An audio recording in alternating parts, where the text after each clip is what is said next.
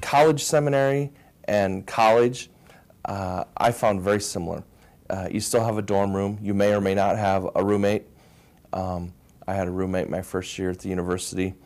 Um, uh, I didn't in college seminary. But then when I went to major seminary, because we were so full, I did have a roommate my first year.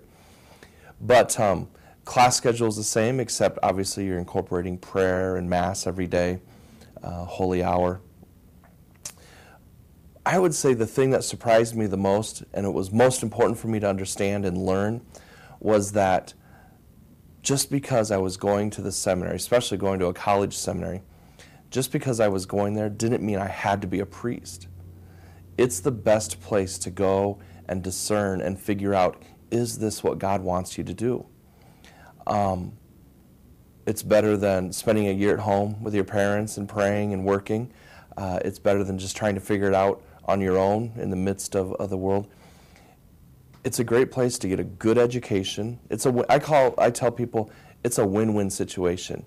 You go to a college seminary, you get a great education, you end up with a bachelor's degree if you uh, haven't gone to college already. Um, if you don't go on to major seminary and are ordained a priest, you're still ahead because you get a great education. We hope that you're a more active and and and zealous, you know, Catholic in your faith.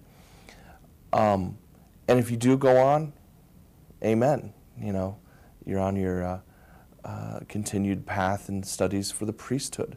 Uh, the biggest surprise for me, I thought that the day you entered the seminary meant you had to be a priest. And I can look back now and say, no, the seminary is just the best place to go, and that's how you really can discern, especially college seminary. Don't think that you have to be a priest just because you go to the college seminary. It's just truly the best place to discern and figure out is this what God is calling me to do and be for the rest of my life?